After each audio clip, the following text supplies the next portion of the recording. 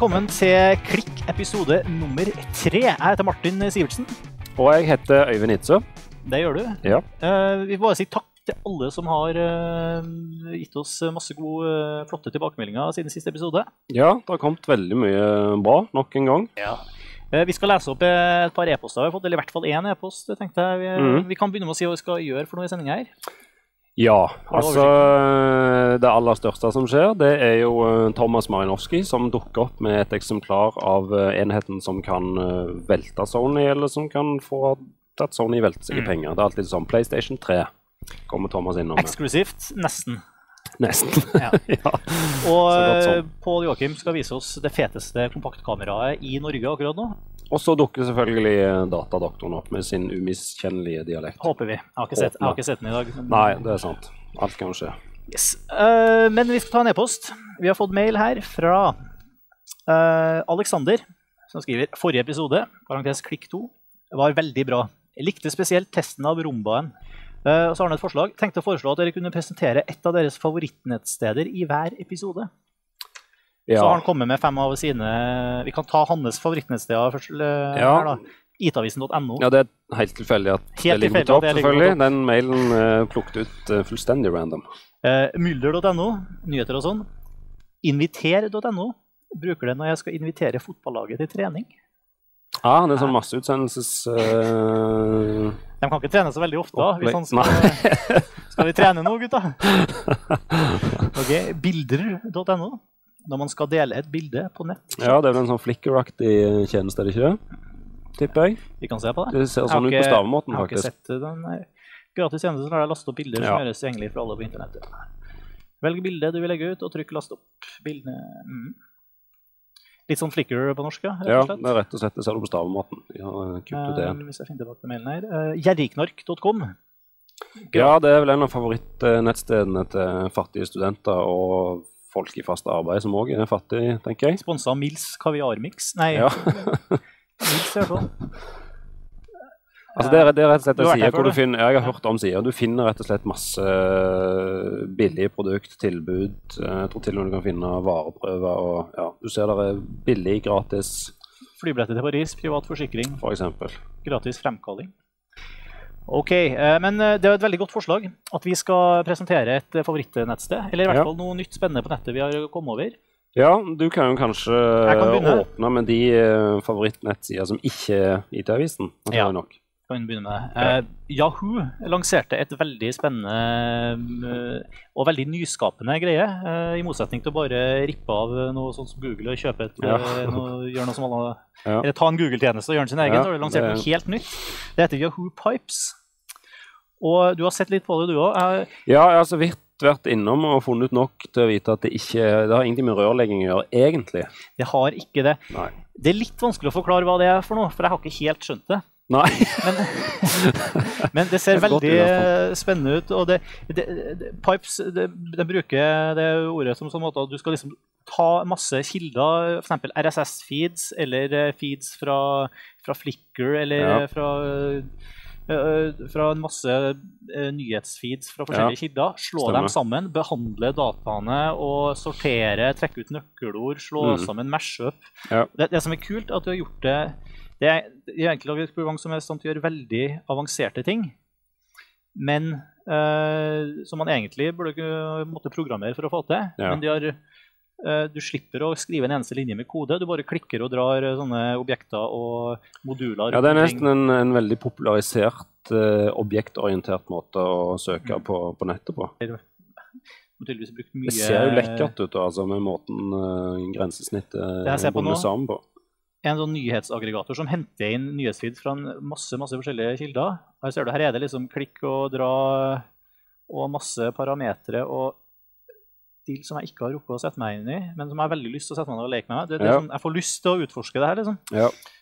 Så han, Alle de feedene går inn i en felles feed, og han feeder dem ut og sorterer etter publiseringsdato. og Tar bort duplikater osv. Så, videre. så ender han opp med en, en, en ferdig feed. Hvis vi kan stikke og kjøre den Run this pipe her nå, så kan vi f.eks. søke på, på Windows Vista. For du kan også ha, la brukerinput være en del av feeden som blir generert. Ja. her nå, så Ja. kommer den feeden ut filtrert på Windows Vista fra alle de nyhetskildene som man har gjort. Ja. Og folk har lagd andre tjenester som for eksempel også i tillegg til der henter ut bilder fra Flickr som er kobla opp mot de tagg nøkkelordene osv. Stemmer. stemmer. Så jeg har ikke helt trukket, som sagt, og dykka inn i det, men eh, det er en av de kuleste nettsidene jeg har ramlet ramla over de siste par ukene. i hvert fall, Og kudos til Yahoo for å Ja, at de tenker virkelig litt eh, nytt. selvstendig for en gangs skyld. Mm. Det begynner vel å bli en stund siden sist. Jo, det var én ting um, i forbindelse med mashup og sånn. Uh, per, du har en kompis på Budstikka Ja, det stemmer. Eh, som eh, du sendte en veldig kul link. Han har lagd, Jeg vet ikke om den er offisiell heller? eh, Den Jo da, den er, den er offisiell nå. Ja, Den ble okay. lansert i helga. Eh, Budstikka.no, det er også Asker og Bærums budstikke. uansett. Han Ja, lokal, en- lokalavisen i Bærum. Asker Ja. og Bærum. Ja, Han har lagd en mashup-greie hvor han har tatt Google Maps og nyheter fra, det er fra Budstikka først og fremst. regner jeg med. Det er lokalnyheter fra, fra Asker og Bærum, Ja, som da ligger ute med både med da linker til bilder og video og eh, nyhetssaker. Hvis noen lurer på hvor stemmen til Per kommer fra, så er det han karen som sitter bak, uh, Jeg begynte å lure nå jeg tenkte på bak. Jeg kamera og filme oss. Vi har ikke noe kamera på Per akkurat nå, så vi får ikke vist dere Per. Men han Det er Per veldig lei seg for, men uh, han Ja. kommer sterkere tilbake i storskjerm neste gang. Unnskyld, Per, at du ikke får vært på skjermen. det er helt men klart. eh, men eh, altså, her er veldig tøft. Her kan vi se altså, Sandvika. Her er det en blå kriminalitet midt i Sandvika sentrum. Det er rett og slett en geografisk oversikt over et visst hendelsesforløp i Asker og Bærum. Mhm. Du tar rett og slett og kobler sammen eh, nyhetsbasen med Ja. uh, Google. Altså det er u Maps, ikon, stemmer. ikoner som forteller om det er ulykke, brann, kriminalitet eller annet. annet. Skal se, hvis vi trykker på den her. Bu Oi, her. Bussjåfør i slagsmål. Brakk, Brakk nesen nesen. på Bærums Verk. Den er veldig elegant. altså. Veldig stilig. Hva heter kompisen din, Ber? Per? Eh, Espen Andersen. Espen Andersen. Veldig tøft. Eh, du har nok ikke brukt Yahoo Pipes på det her, men eh, Nei, men han har brukt hodet, og det har han jo kommet, eh, kommet ganske langt med. Det Dette var jo en faktisk. veldig smart måte å gjøre det på. Folk som er glad i eh, distriktet eller sted, hjemstedet sitt, vil jo sette ekstremt stor pri- pris på en sånn oversikt. URL-en her er så lang at jeg ikke gidder å ramse den opp, men vi kan vise den nederst på skjermen her som sikkert. Ja. Så slå den. Ja. Nå kan vi jo gå inn på eh, en av mine mest brukte nettsider om dagen, som er netvibes.com. Ja. Touchmetoden, ser jeg. Ja, det er enhånds. Den er i ferd med å bli veldig hipp i uh, visse kretser. Altså, det, da kommer du rett og slett inn Det er en hel haug med moduler. Uh, og det som er fint, er at Det Er norsk? Det, Nei, det er det som er greia. Den finner bl.a. ut eh, via IP-nummer og selvfølgelig hvor du hører hjemme. Så den setter automatisk opp det han antar er dine mest brukte tjenester. Sant? Du får være i Oslo. Det har han klart å finne ut, at vi holder til i Oslo. Så legger han opp eh, nyhets- eller RSS-feeder fra Aftenposten, Dagbladet, VG og Nettvibes sine egne sider. Men det som er poenget her, er at når du, når du da lager din egen bruker, så kan du begynne å konfigurere sida Mm. akkurat som nå til. Du kan, begynne, du kan flytte rundt på modulene her. sånn at du, du kan legge opp internettsøket der oppe, eller du kan eh, dra Aftenposten ned her, eller du kan opprette i tillegg nye tabulatorer, f.eks. Så du kan lage en, eller en ny fane, som de kaller Den det. ligner jo veldig, den bruker jo gadgets og eh, Web 2.0-elementer. Ja, det er absolutt i høyeste grad Web 2.0. Det som skiller den her, så vidt jeg kan se i første øyekast fra Jeg har prøvd Pageflakes, som gjør noe tilsvarende. Ja. Og du har jo også Microsofts MSN Live osv. Stemmer. Men det som skiller den her, er at den ser jo ikke promp ut. Nei, den ser faktisk Den ser faktisk Den ser veldig veldig, veldig bra ut. faktisk. De har klart å gjøre det veldig elegant. og Du kan legge inn huskelapper, du kan legge inn Mm. egne kalendere. Du kan eh, i det hele tatt eh, Det er sider som du kan ta med deg overalt. Det er rett og slett bare å logge inn, så vil du få opp Det er en sånn sider akkurat sånn som man er konfigurert fra de sidene. Netvibes.com. Jeg skulle ønske vi kunne, da vi som hadde lagd den, og kunne tilbudt den til Ja. Vi kan godt late som om Nei. Kan ikke late som det? Nei. Jeg den skal i hvert fall sjekke ut. Netvibes.com. Men vi må videre i programmet. Ja. Da setter vi over til Pål Joakim, som skal vise oss eh, den eh, nye speil... Nei, ikke speilrefleks. Nye kompaktkamera fra Olympus. Yes. Ja, velkommen eh, til Klikk, Pål Joakim Olsen. Takk skal du ha. Første gang du er her, men du er en din sides kameratester. Det er jeg, vet du. Pleier å stå på utsida av vinduet når dere spiller, men Du har med deg en godbit her. Det har jeg. Det er her er Olympus sitt nye ultrazoom-kamera. Første kamera i verden med 18 ganger optisk zoom.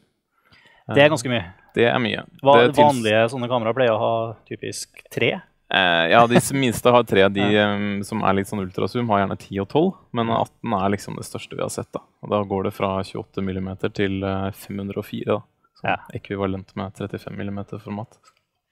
Eh, 28 millimeter Ja, det, så det, det tilsvarer 28 millimeter på det Ja. vi vant til fra Ja, ikke sant? Så du har litt vid vinkel da, ikke sant? i tillegg Ja. til at du kan komme Det har vi snakka om før. Jeg syns ikke det er Nei, du vidvinkel. ikke det, Jeg syns man er på eh, 24 før det er vidvinkel. Jeg tror det kalles for ultra vid vinkel. Ja, ok.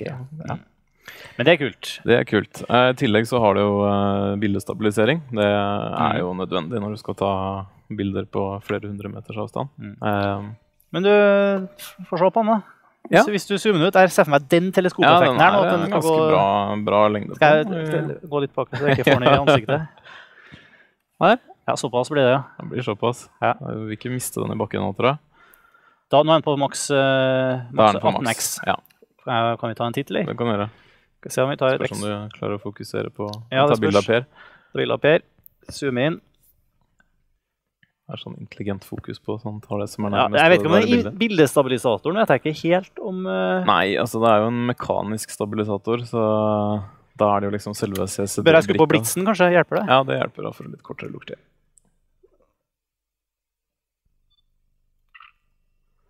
Der fikk jeg et bilde av Per. Ja. Han så skikkelig sløv ut. ja da. Den, den brukte ganske lang tid, da. Både på å zoome Den inn og ut. Den bruker lang tid på å zoome. og- Det er en av de små ulempene. Og fokusere. Ja, fokusere og slite litt med, i hvert fall når du har den på full tele. Vi er, jeg må innrømme at Du var kanskje ikke klar over det, men i introen til Klikk så annonserte vi her som verdens kuleste kompaktkamera. Jo, nei, nei, men det er jo noe av det kuleste på markedet akkurat nå, da, med i hvert fall spesifikasjonsmessig. Ja. Eh, Du kan annet ta 15 bilder på ett sekund. da. Oi, det er jo Det er ganske morsomt. Du Kan ta og aktivere funksjonene. Så kan du Så bare peker du på meg, så holder du knappen inne. Så skal jeg gjøre noe sprell. Ja. Er du klar? OK. Nå tok han 15 stykker, Ja. og så nå står han og blinker og Ja, nå lager, og lager han alle, lager alle, bildene. bildene. Men det er jo praktisk. ikke sant? Hvor lenge kan jeg vente til jeg tar 15 nye? Nei, det, Han teller ned nå, ser du. Nå er han klar. Okay. Kult. Men det er litt kult når eh, ungen eh, står på ski eller noe sånt, Ja. ikke sant? og hopper på kanten. Så kan du bare Mm. holde den inne, og så får du 15 kjappe eh, akkurat når han er på kanten. Hva er oppløsninga på, på bildene? Eh, det er 7 megapiksler. Så den tok 15 7 megapixel Nei, bilder nå? det er ikke på de bildene. Nei, det er det. nok bare én. Men eh, det holder faktisk til 10 ganger 15. altså. Mm. Det gjør det. Mm. Eller så kan du få 7 eh, på 3 megapiksler på ett sekund.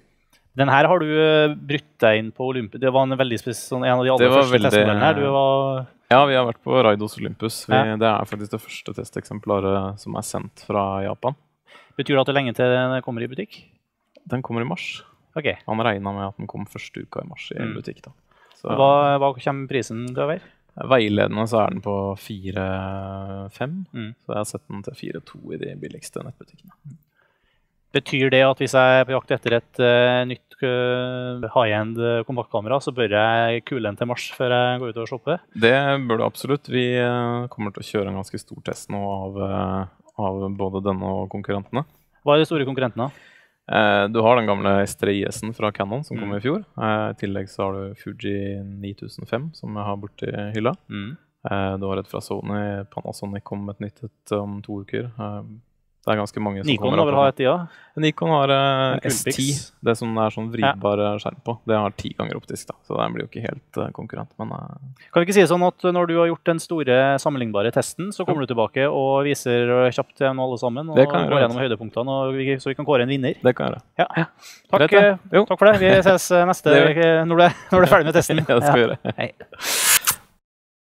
Hei, hei, og velkommen til den tredje episoden av eh, Datadoktoren, eh, der ingen egentlig vet hva som skjer før det skjer. Jeg har som vanlig eh, med meg Vegard Jansen fra Halla. Din Side Data. Halla, halla. Går det bra?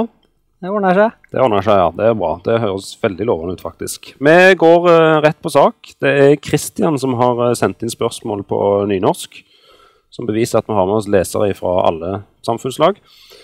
Hei! Når jeg vil laste ned klikk og se det i Windows Media Player 11, hva slags format skal jeg laste det ned i da? Når jeg lasta det ned i Xvid, så hørte jeg bare lyden, og det kom ingen bilde. Må jeg laste ned en kodek, og hvor får jeg den ifra? Ja. Nå er det kanskje litt teit å, å eh, svare på det spørsmålet her akkurat i eh, dette programmet. Ja, Men eh, det har seg nå en sånn gang sånn at Windows Media Player det er ikke helt eh, bra til alle tingene. nei. Nei. Så det fins jo eh, selvfølgelig gode alternativer. som eh, VLC Media Player. Det er en av dem. Koster det penger? Alt det her er gratis. Alt og last, dette er gratis. laster du ned fra nettet. Eh, Det funker fint. Eh, Et annet eksempel er eh, Gomplayer. Og det funker også utmerket med den Xvid-fila som du kan laste ned i klikk. Så dette vil fungere uten at du trenger å laste ned noen ekstra kodekk eller uh... Men om du enten kan gjøre det, om du må bruke en eller annen eh, Eller om du må bruke Windows Media Player, så kan du laste ned QuickTime-fila.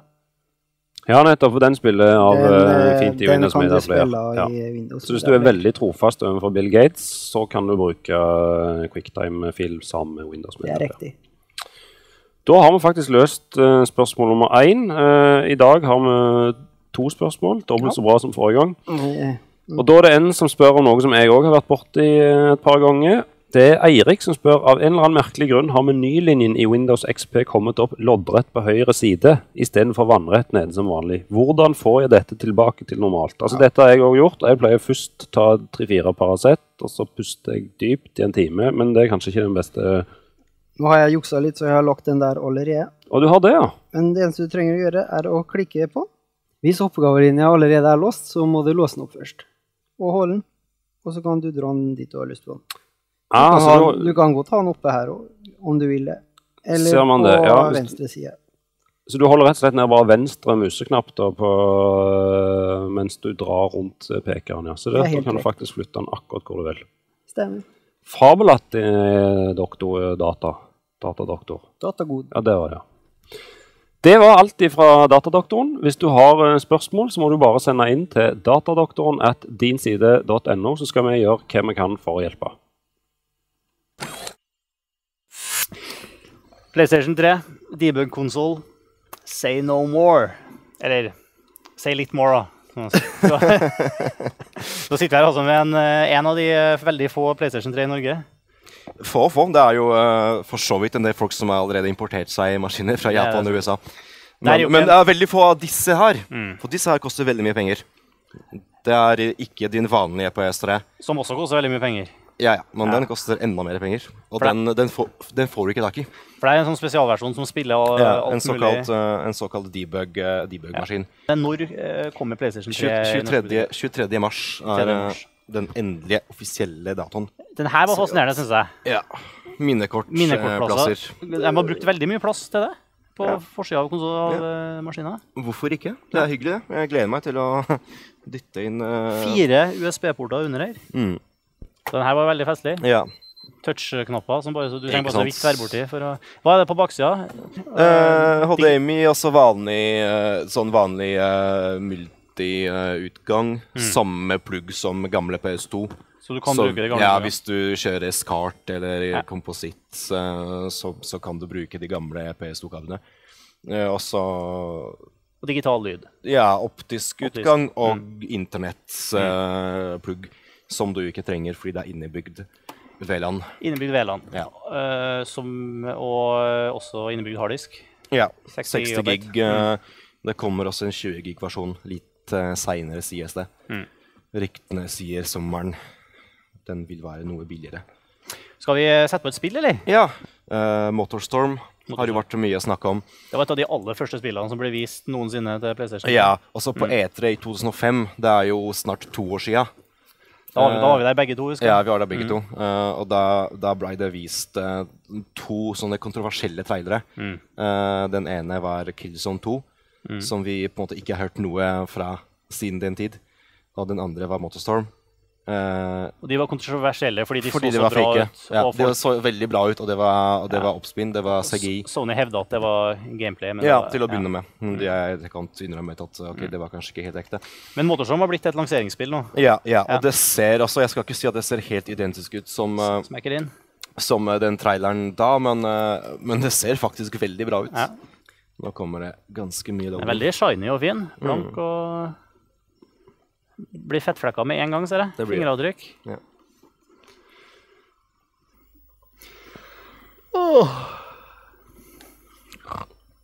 Det er mye, mye loading, men det er eh, Er det et uh, debug-problem, eller er det, Det er en, Den versjonen er liksom 99 ferdig. Det er, sånne ting som loading som blir fiksa sist, ikke sant. Mm.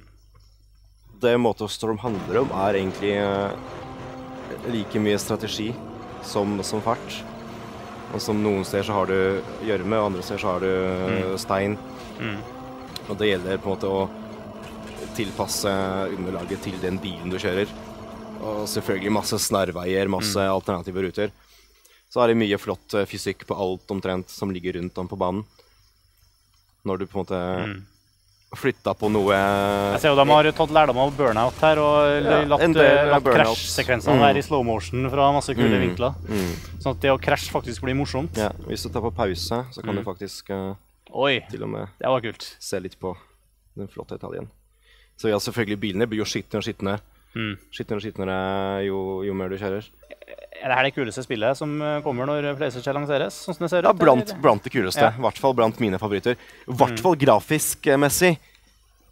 Hvis du, hvis Ja. du skal liksom ha ett spill som du skal bruke som show-off uh, for å skryte til vennene dine, og for å flashe din 50-tommers uh, 1080p-skjerm, så er det liksom Motorstorm som er Så eh, på, når, da Xbox 360 kom, så var det Project Gotham Racing. Ja, ikke sant. Ha, nå er Ja. det Motorstorm Ja. på, på PS3.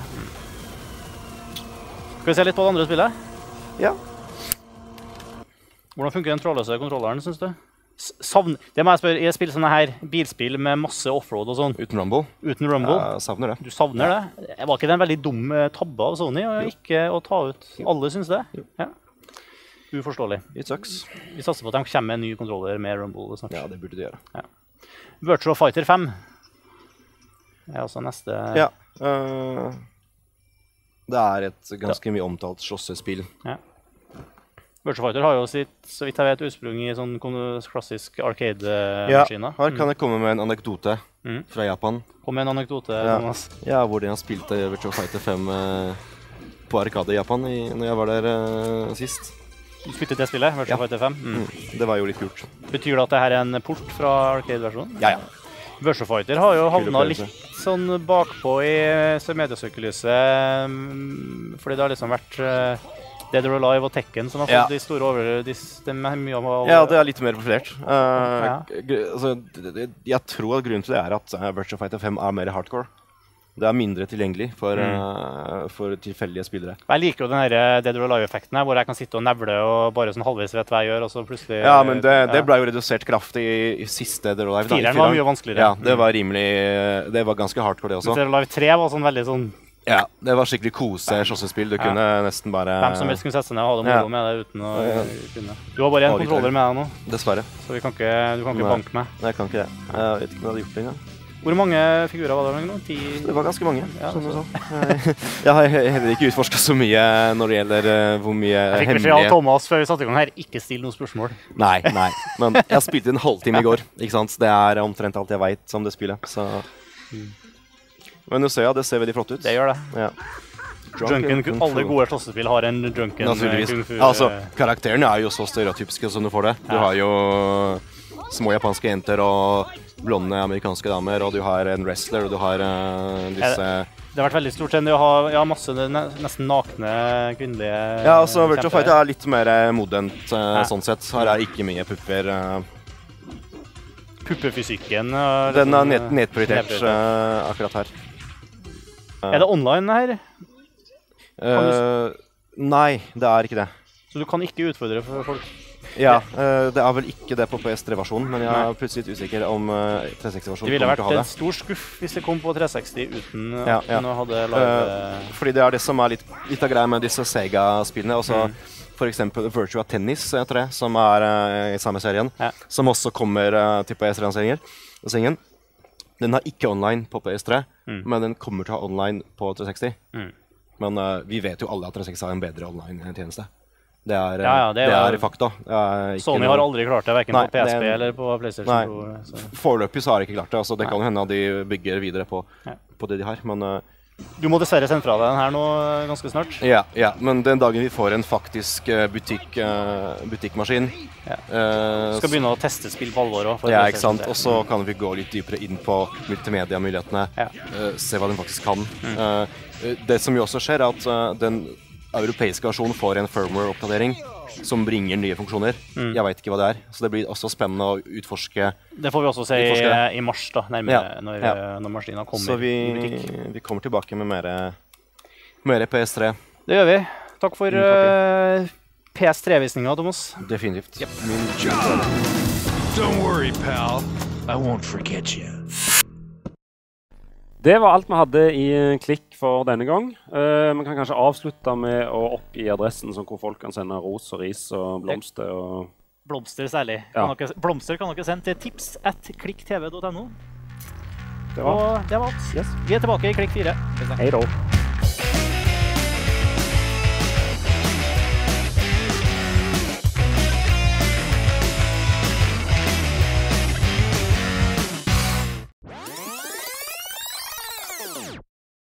Tre og Du, slutt å pille her, altså. Jævla.